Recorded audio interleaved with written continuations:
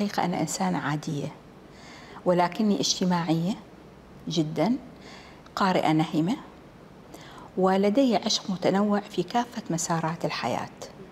يعني عندي عشق إلى عملي تخصصي آه، في أمراض وجراحة اللثة. لدي عشق في الإدارة وأنا أدير هذه المستشفى وفي السابق كنت أدير خدمات طب الأسنان في البحرين ومع آه، منظمة الصحة العالمية لفترة طويلة. آه، لدي عشق للقراءة. ولذلك قلت يعني ذكرت أني قارئة نهمة. لدي عشق للتاريخ. فقراءاتي أيضا تتوجه نحو هذا يعني نحو هذا الموضوع. فلدي عشق متنوع. والآن أيضا وأنا في الشورى لدي عشق العمل التشريعي. فكل شيء أقبل عليه بصراحة يعني آه، أدخل في هذا الموضوع بعمق وبحب. الحقيقة إنه الوالد والوالدة يعني هاجروا من البحرين مع أخوتي قبل ما أنا يعني آه، أجي.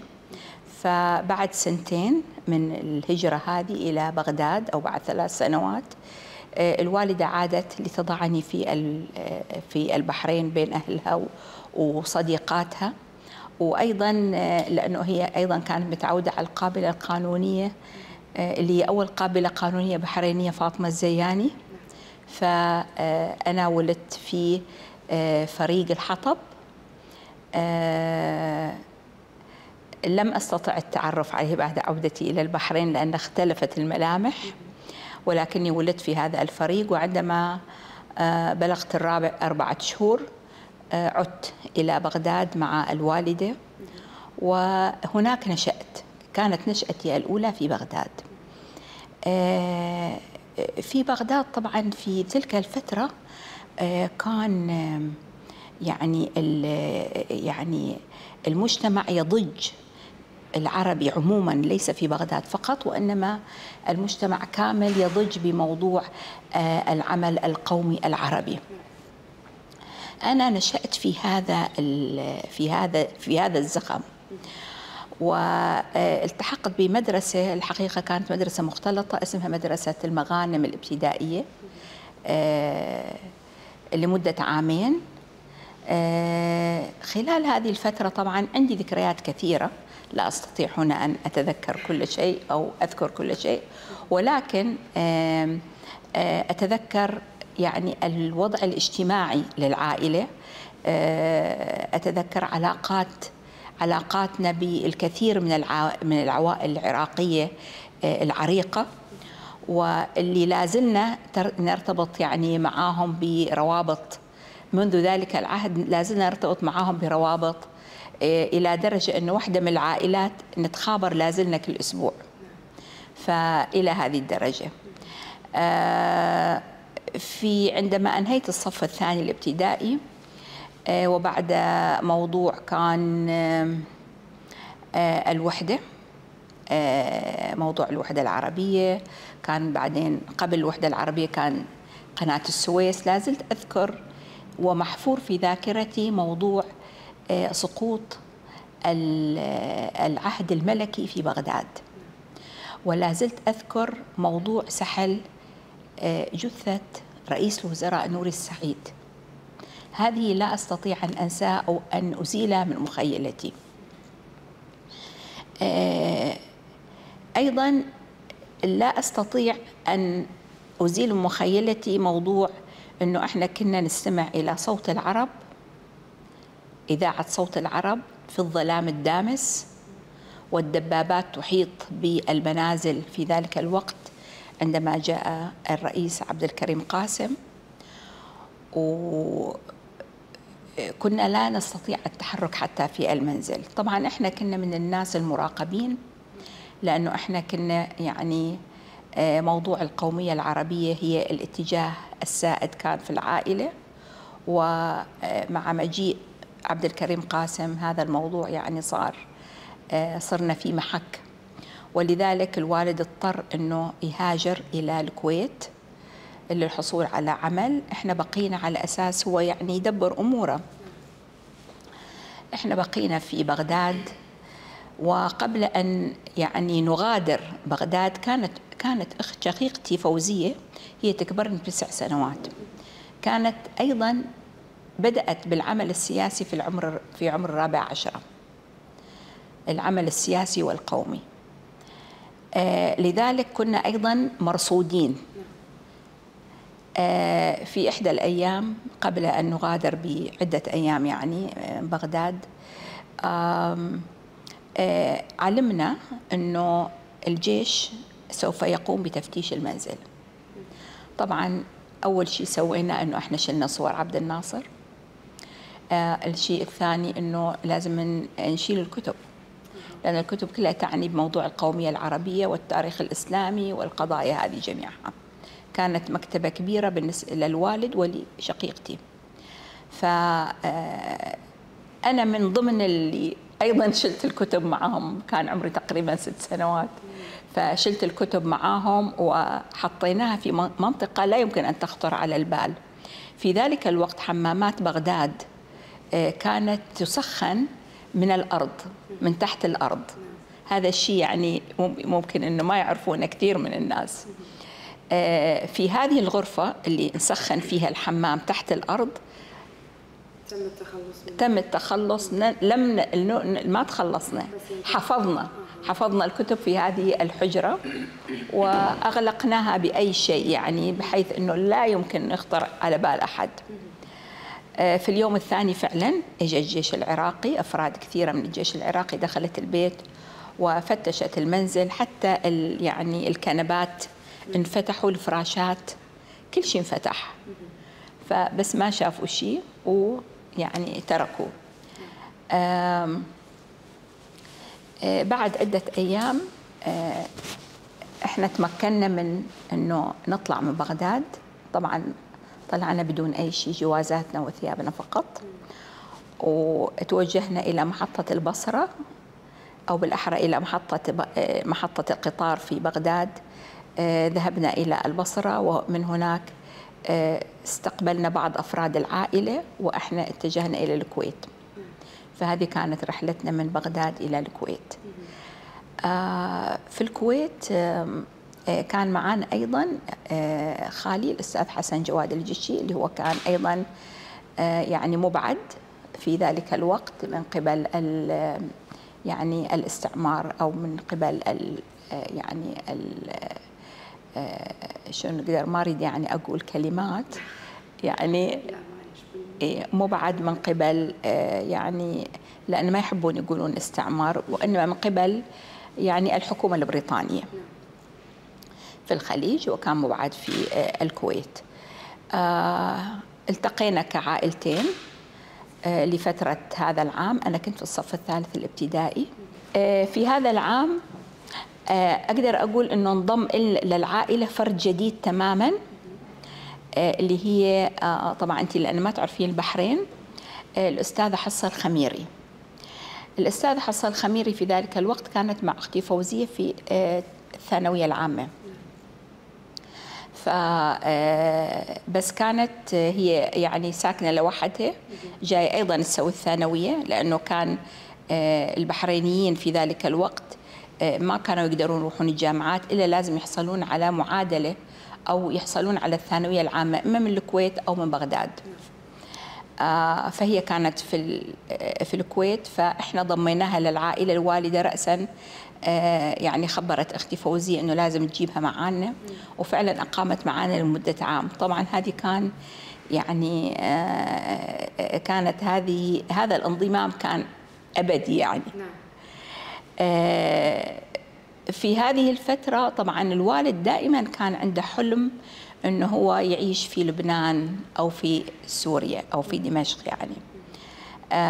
وأعتقد إنه يعني انتهاء شقيقتي فوزية من موضوع الثانوية العامة في الكويت فتح أمام هذا المجال لتحقيق هذا الحلم. وبالتالي انتقلنا كان هناك صعوبات طبعا بالنسبة للوالدة لأنه هي تعودت على الجو الخليجي بشكل عام وهي راح تنتقل إلى دمشق. كانت دمشق نبض كبير في يعني الوطن العربي وكان الحياة الثقافية والكذا. ولكن مشت الأمور آه، كما أراد الوالد وانتقلنا إلى دمشق. آه، انتقل هذه النقلة كانت نقلة نوعية فعلا. نقلة نوعية بالنسبة لنا جميعا. آه، بالنسبة لي أنا كفيت طفولتي في في دمشق وعشت فعلا يعني طفولة حقيقية أكثر من الكويت وبغداد. يعني كانت طفولتي جميلة جدا في دمشق وبدأت في مدرسة صفية القرشية في دمشق القديمة في باب الجابية. باب الجابية هو أحد الأبواب السبعة لمدينة دمشق القديمة. ويوميا كان يعني أجتاز منطقة دمشق القديمة عشان نوصل إلى البيت. البيت صاير فيه على حدود أو على يعني في ضاحية حديثة جنب دمشق القديمة فكان أنا علي أنه يوميا أجتاز الشارع اللي عادة الشوارع القديمة في دمشق مرصوفة بالبازلت لأنه ما كان في سيارات كان في أحصنة. فهي تشوفينها مثل اللي موجود في إيطاليا في كلها مرصوفة ببلاط البازلت. فكان علي أن أجتاز كانت عندي صديقة دمشقية عريقة جدا والحقيقة يعني آه، مارسنا الحياة الدمشقية كما هي يعني. آه، ربما شيء غريب على البحرين يعني العادات. ما كان عندنا سمبوسة وأشياء هذه وإنما كان عندنا آه، كنا نخلط الليمون حمض الليمون بالنعناع اليابس. هذه كان وحدة أو إن إحنا آه، نبتاع الكباد الكباد اللي هو الترنج دائما يعطونا ملح معاه لازم ناكل ملح. أو آه، لازم نمر على آه، معامل الإضامة. بتعرفي الإضامة؟ الإضامة هي الحمص المحمص. أنت تاخذينه من المصنع إحنا مارين في كثير مصانع محلية. هي تبيع هذه الأشياء يعني أو تسوي هذه الأشياء في البيوت.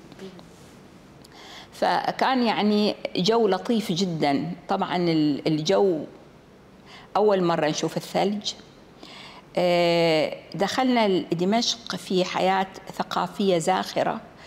آه، لأول مرة أشوف كنت المسرح في الستينيات. آه، والسينما الموجهة كانت من قبل الدولة اسمها سينما الكندي بعد مثل مستشفى الكندي. سينما الكندي. اللي هي كانت تابعة لوزارة الإعلام وكانت تجيب خيرة الأفلام العالمية الراقية جدا. في دمشق يعني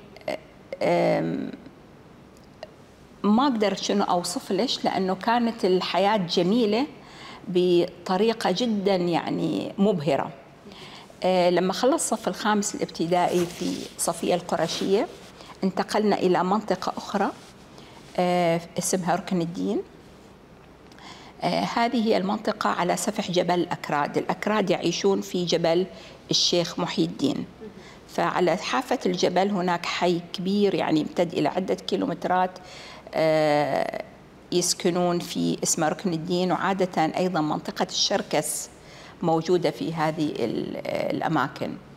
إلا أنه أنا مدرستي ما كانت في هذه المنطقة كانت في قلب جبل شيخ محي الدين. وكان اسمها ست الشام. ست الشام هي فاطمة خاتون بنت نجم الدين الأيوبي اللي هي أخت صلاح الدين الأيوبي. فهذا كان واحد من المنازل تبعها في دمشق. آه البيت جميل جدا مثل اللي تشوفينهم في البيوت اللي في آه يعني المسلسلات السورية إذا تشوفين المسلسلات. فهي هاي البيوت الدمشقية القديمة. أنا كنت هناك في صف السادس الابتدائي والمنطقة وشهادة السادس يسمونها سيرتفيكا على فكرة كثير في ثقافة فرنسية في سوريا آه، حتى التسميات والأشياء. إلا أنه الثقافة العربية هي السائدة. آه، كان موضوع الانتقال من السرتفيكا إلى مرحلة البروفي اللي هي الإعدادي. لازم تتطلب امتحان وطني على مستوى الدولة. فكنا يعني مو إنه في المدارس لا كان امتحان وطني يعني في قاعات جدا كبيرة و آه، عادة ما في أي تساهل كان بالنسبة إلى اللغة العربية والرياضيات. إلى درجة جدا كانت مخيفة بالنسبة للطالب لذلك كانوا الطلاب أو كنا إحنا موضوع اللغة العربية نتشرب به تشرب يعني. آه، وأيضا موضوع الرياضيات. كان جدا حادين في الموضوع كثير في رسوب. ولكن اللي يطلع من السرتفيكة البروفي فعلا كان ذاك الوقت كان شيء عظيم. آه، استمريت أنا في آه، دراستي. بعدين بعد ما مرحلة البروفي إجت المرحلة الثانوية. وكنت جدا يعني محظوظة أنه أنا حصلت على مقعد في مدرسة تجهيز الأولى. وهذه المدرسة هي مدرسة نموذجية لوزارة التربية والتعليم في دمشق. وكان المدرسين هم معظمهم من مؤلفي الكتب لأنه مؤلفي الكتب هم أيضا سوريين. وكانت تحت إشراف من جهة فرنسية في ال education. فكانوا كل سنة يجون ويراجعون المناهج مع التدريس ويصير يعني دائما يعني update أو يعني تطوير إلها. أي. آه هاي المدرسة النموذجية كانت جدا يعني آه جميلة. ما أنا ما شفت يعني شفت المدارس هني بعد أيضا جدا كويسين بس كان هذه المدرسة كان فيها مدرج خاص إلى آه تجارب الفيزياء. كان فيها أيضا آه آه تقريبا أربع آه أربع مختبرات للأحياء. كنا نشرح أرانب وأشياء من هذا النوع. أوكي. كان فيها أيضا مسرح وكان فيها صالة رياضية كبيرة جدا لأن كل ثانويات دمشق كانوا يسوون الفعاليات الرياضية في التجهيز الأولى وطبعا كان فيها غابة كبيرة من الصنوبر ومسجد وما أتذكر شنو مكتبة كبيرة. آه في الثقافة الدمشقية بالنسبة إلى الدراسة هي ثقافة مختلفة وأنا أول ما جيت البحرين فعلا لاحظت هذا الاختلاف. لأنه إحنا لما نكون في المدرسة في دمشق ما نقدر إن إحنا نطلع أي شيء خلال السنة. يعني أنت من سبتمبر إلى جون أنت تكوني مدرسة بيت. ممكن. إذا تطلعين معناته أن أنت أكيد بتقصرين في العمل. حتى كان العطلة الربيعية كانت مخصصة للبحوث. وكنا نعمل بحوث في خاصة البحوث الأدبية نعملها في مكتبة الظاهر بيبرس. الظاهر بيبرس هو من المماليك. إذا تروحين للتاريخ. الظاهر بيبرس هذه المكتبة بنيت في القرن الثالث عشر وهي قريبة جدا من جامع الأموي. فكنا يعني نروح هاي المكتبة وهاي المكتبة عليها محاذير كبيرة جدا لأن هي إرث تاريخي وثقافي كبير في دمشق. فكنا لما ندخلها في يعني إجراءات مشددة. بس كنا نروح ونسوي فيها طبعا ما نقدر نطلع كتب وإنما نقعد ونسوي كل أمورنا في هذه المكتبة ونطلع. بعد ما خلصت البكالوريا السورية جبت علامات عالية جدا وقتها وكان تأهلني لدخول الطب البشري. إلا أنه ما كنت أنا يعني في موضوع الطب البشري ما كان خاطر على بالي. فلما رحت أسجل في الجامعة تناقشنا في البيت إنه يعني شنو ممكن أسجل فكان موضوع التسجيل إنه لا ما تاخذين هندسة لأنه كان عندي أخوان اثنين مهندسين خريجين بغداد فاحسن تاخذين مجالات أخرى. فكرت في الفيزياء لأنه أنا كنت جدا معجبة بماري كوري أو هي اسمها ماني سكلودوفسكا فكنت جدا جدا جدا معجبة فيها وقريت هذه القصة. هي كانت من مقررة علينا لما كنت في الصف الثاني بروفي. فقريتها يمكن خمس ست سبع مرات حفظت كل أخواتها وكلهم شلون راحت وشلون تزوجت بيير كوري وشلون اخترعت اليورانيوم وإلى آخره. فكنت فعلا يعني into into physics وكنت أحب الفيزياء بس بعدين قعدت أفكر قلت الحين أنا إذا دخلت فيزياء راح أصير مدرسة. فدخلت طب الأسنان. آه، الحقيقة مجرد دخولي طب الأسنان من أول سنة أنا عشقت طب الأسنان. أنا كنت أحب كل شيء يعني. أحب كل شيء في حياتي. فعشقت طب الأسنان جدا. آه، كنت متفوقة دائما وكنت خاصة أساعد زملائي في موضوع اللغة الإنجليزية لأنه كانت لغتي الإنجليزية قوية لأنه في عندنا مواد إحنا صحيح ندرس بالعربي آه، في جامعة دمشق ولكن كانت هناك مواد أساسية آه، في الطب وطب الأسنان كانت تدرس باللغة الإنجليزية لنا أو باللغة الفرنسية للي هم لأن دمشق مدارس دمشق آه، فيها إنجليزي وفيها فرنسي وفيها ألماني وفيها روسي. فأنا كنت أول شيء فرنسي بس بعدين انتقلت باعتبار أن أنا يمكن مستقبلا آه، أرجع البحرين. فطلبوا أهلي أنه أنتقل إلى الصفوف الإنجليزية. فكانت إنجليزيتي كويسة بسبب أيضا الوالد. الوالد لأنه كان الوالد من خريجين بابكو يعني. فكانت إنجليزيته جدا يعني قوية. أوكي آه طبعا أنا ما أقدر يعني آه آه أروح من موضوع دمشق بدون ما أذكر شقيقتي اللي هي كان لها كانت مثلي الأعلى. لأنه شقيقتي آه، إحنا لما رحنا دمشق آه، انتقلت نقلة نوعية كبيرة جدا مثل ما قلت لك في البداية أنه صارت عندنا نقلات نوعية في حياتنا. والنقلة النوعية بالنسبة لها أنه هي اشتغلت بالعمل القومي العربي في دمشق. آه، بالإضافة إلى طبعا أن هي طبعا درست وخلصت بس كان اشتغالها بالعمل القومي بشكل يعني كبير و مثلت حتى الجمهورية العربية السورية في عدة آه، مؤتمرات. آه، آه، الشيء اللي كان ملفت إنه هي رغم إنه سنها الصغير وإحنا يعني جايين من بغداد أو من في ذاك الوقت تعتبر دمشق متطورة جدا كانت مليئة دمشق بالصالونات الأدبية والأندية الثقافية. استطاعت يعني أختي فوزية أن تحول منزلنا إلى منتدى ثقافي أدبي في دمشق حتى كان يطلق عليه بيت الأمة من قبل سواء البحرينيين أو من قبل آه، العرب اللي كانوا موجودين في ذاك الوقت. كان الكثير من اليمنيين منهم يحيى الإرياني رئيس وزراء اليمن بعدين. كل هذين كانوا موجودين في ذلك الوقت اللي بعدين صاروا وزراء ورؤساء وزراء في الوطن العربي كانوا موجودين في دمشق في ذلك الوقت. فهي استطاعت فعلا إنه تأسس لهذا الموضوع وهذا طبعا يعني أعطاني آه، آه، أعطاني يعني آه، يعني دافع قوي إنه إنه أنا آخذ شيء من فوزية.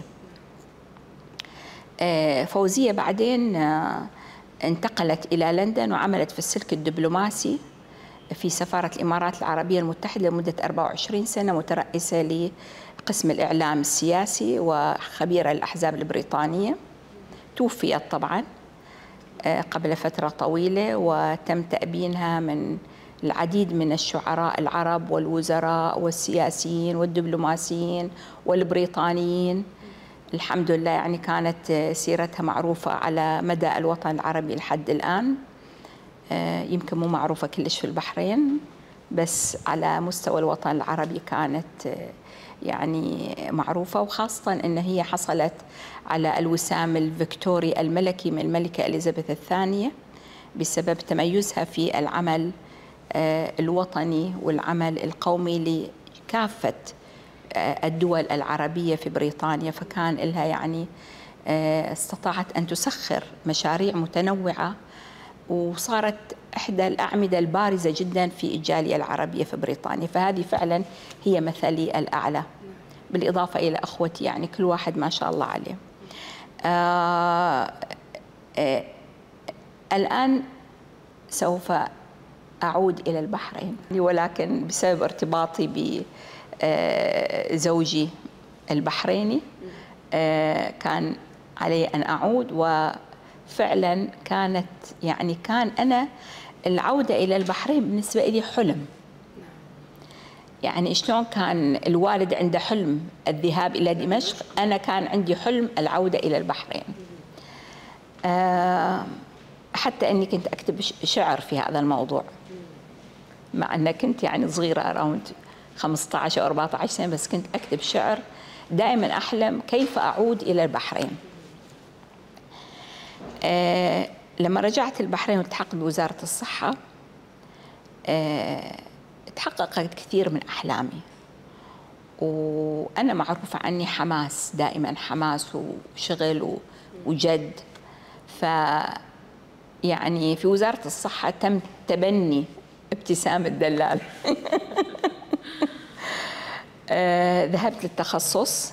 آه، حتى يعني الأجانب ساعدوني كثير مو بس البحرينيين العرب المصريين اللي كانوا موجودين آه، الإنجليز اللي كانوا موجودين في وزارة الصحة. كلهم مدوا لي فعلا يد المساعدة إنه أنا أروح أتخصص في بريطانيا. فرحت سويت تخصص تبعي أمراض جراحة اللثة في مدينة كاردف في جامعة كاردف ولما أنهيت التخصص عدت إلى البحرين. آه، لما رجعت كان هذه نقلة نوعية أخرى في حياتي لأنه لما رجعت كان عندي يعني آه، كان عندي يعني حقيبة زاخرة من التجارب.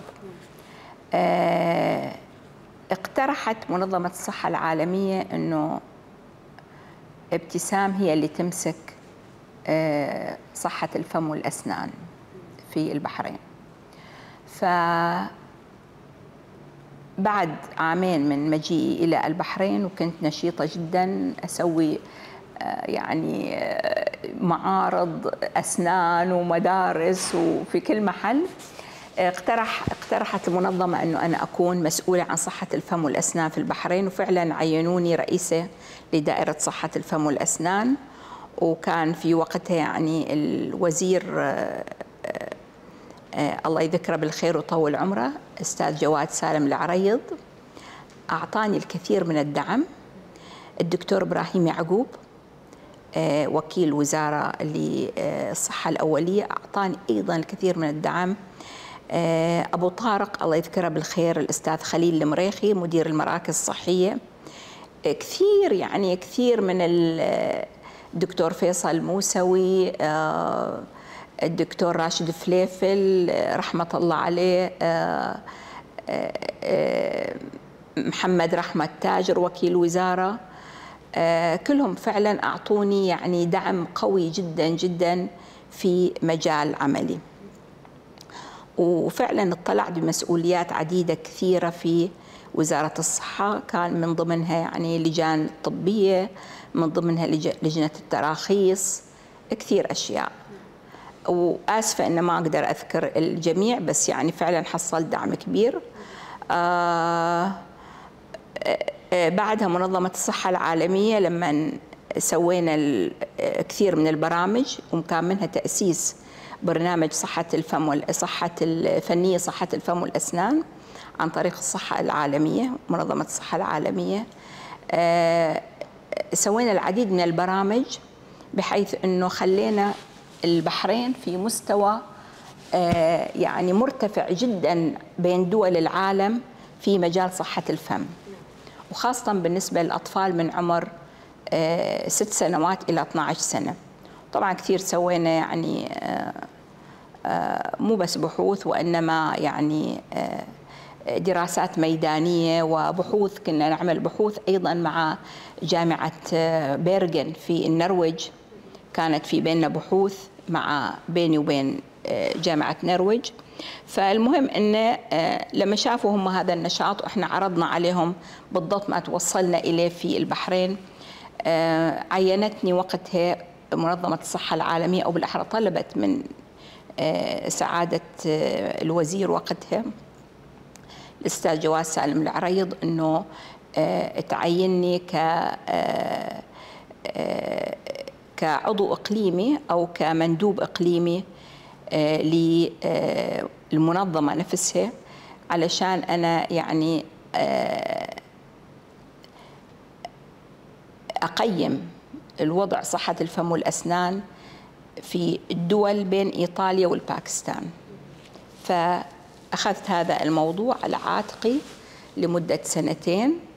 آه، بعدها أنا يعني فكرت أنه آه، آه، يعني أذهب إلى مجال آخر إلى مجال الطب الخاص. بعد كل هذا العطاء لمدة 17 سنة في وزارة الصحة طلعت إلى الطب الخاص أنشأت مركز كان ما في مراكز وقتها.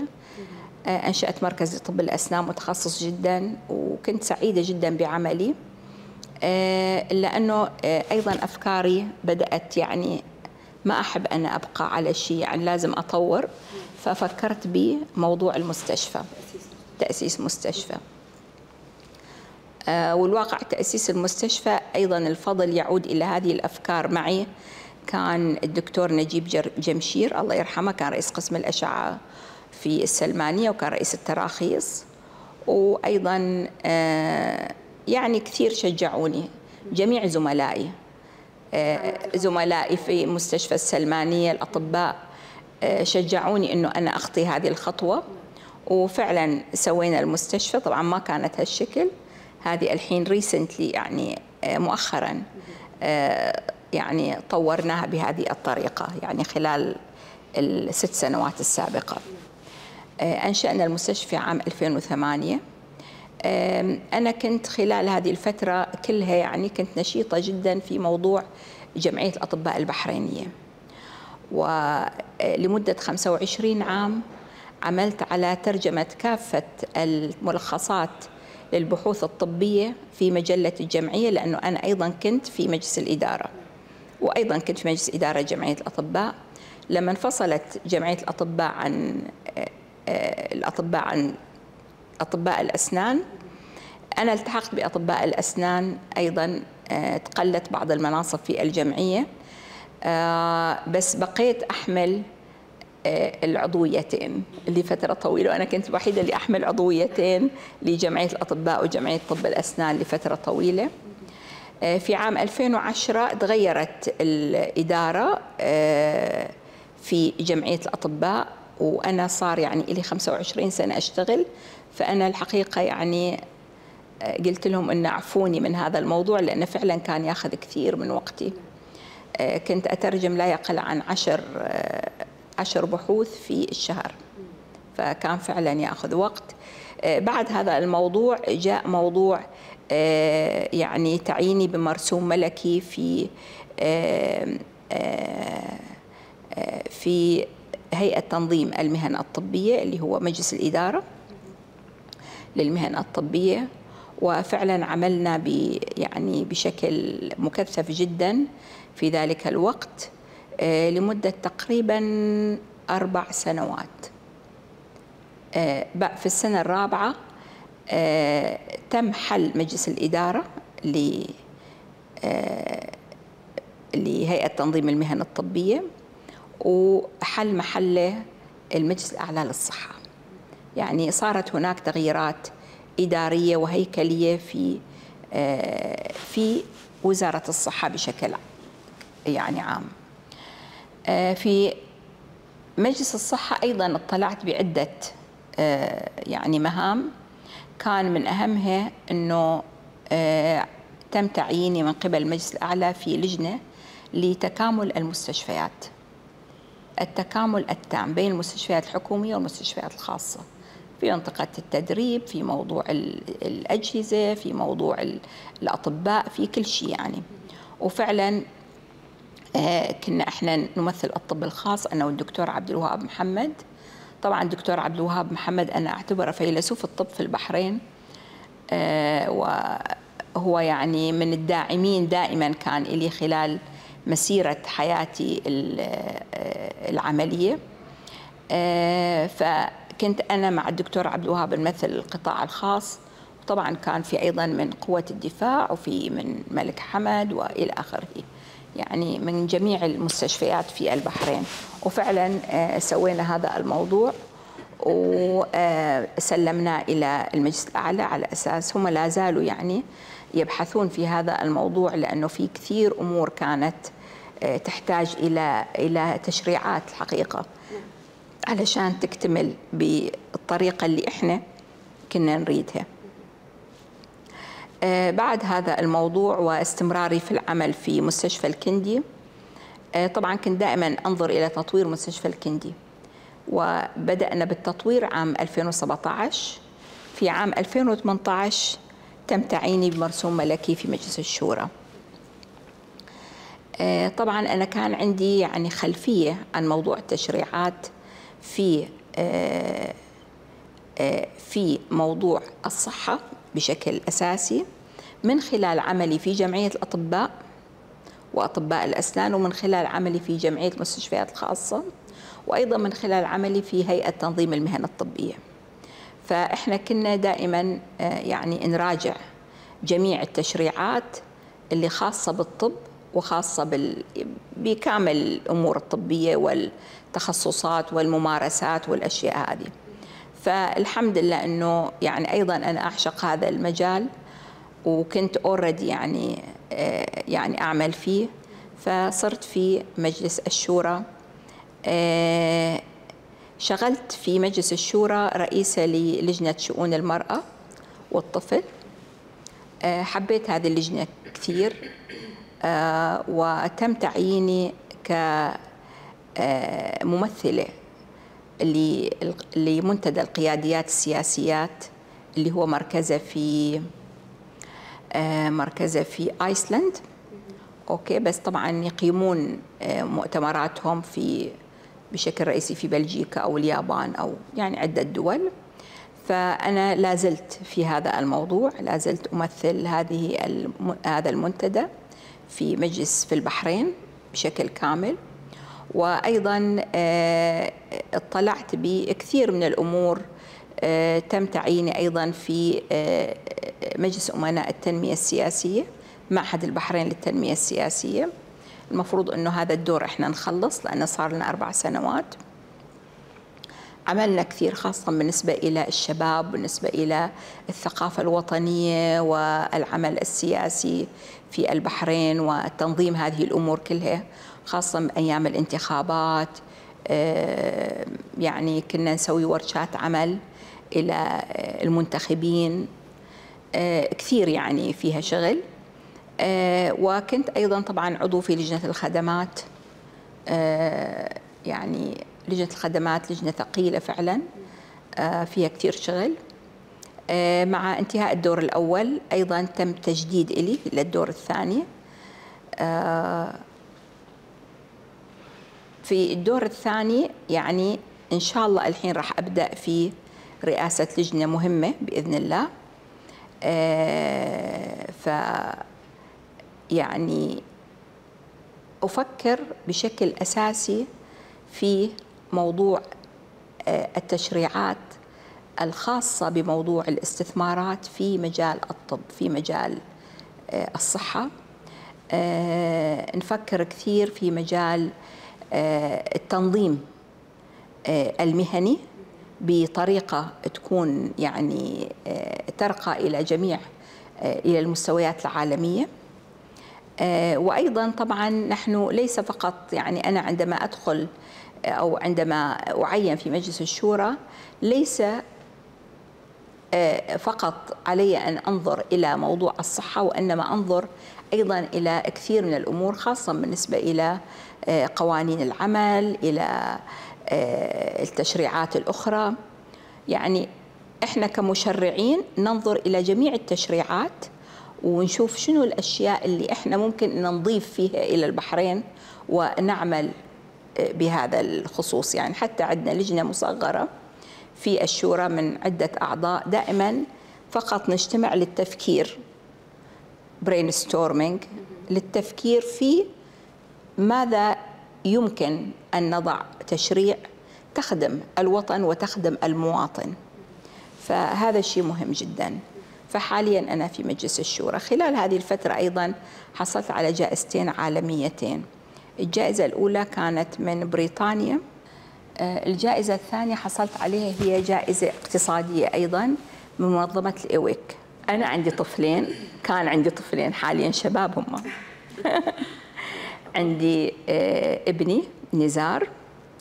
آه، نزار حاليا هو محامي. كوربوريت لو اللي هو محامي شركات. آه، يعني استمتعت جدا بطفولتهم. ويمكن كان أحد أسباب تركي لوزارة الصحة أو تركي للقطاع العام وانشغالي بالقطاع الخاص كان بشكل رئيسي كان عشان أنا أعطي وقت أكثر إلى آه، الأطفال. فأنا عندي كان وقتها طفلين نزار آه، سمينا على أساس تعرفين الشعور القومي العربي لأنه هو نزار أبو العرب. طبعا عندنا موضوع التشريع قانون الطفل. قانون الطفل يشغلني حاليا موضوع الأطفال المعوقين.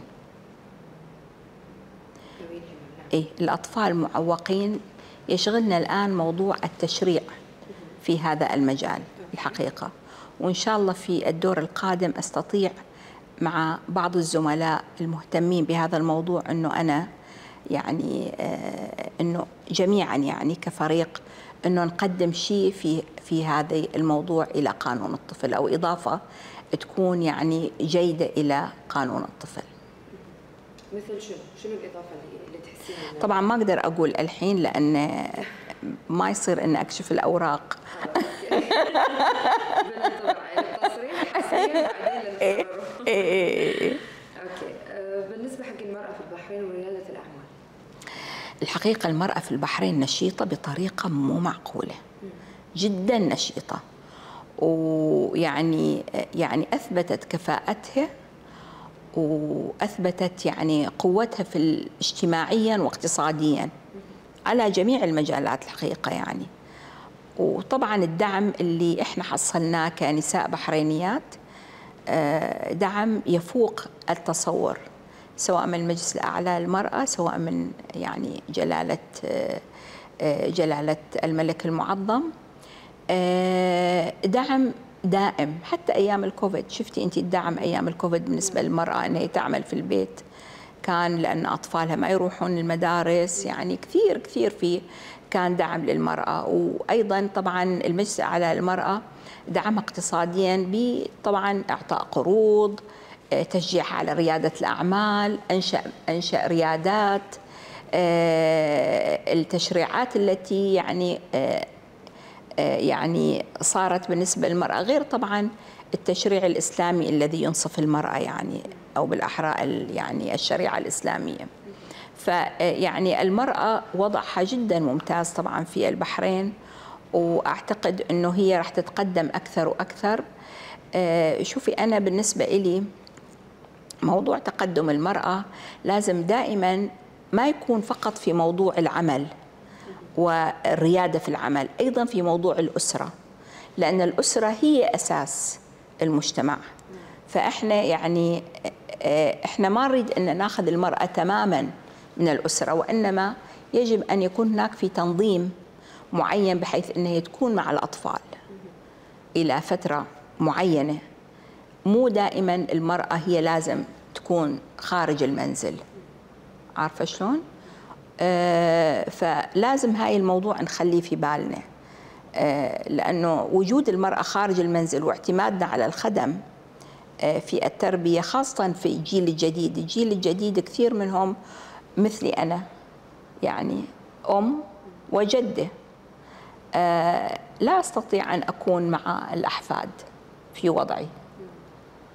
لذلك بنتي اختارت أن لا تعمل حالياً. ممكن إن في أقرب فرصة لما شوي يكبرون الأولاد ممكن إن هي تشتغل. بس آه، ولكن بالنسبة لي أنا اعتمدت على الوالدة. شايفه شلون؟ فجدا مهم إنه إحنا ما نعتمد على الخدم في تربية الأطفال. آه، المرأة مهم جدا إن هي تتعلم آه، إن هي تعمل إن هي يعني تتقدم في المجتمع على آه، تأخذ جميع الأدوار. ولكن أيضا لازم يؤخذ دائما في الاعتبار موضوع الأطفال والأسرة.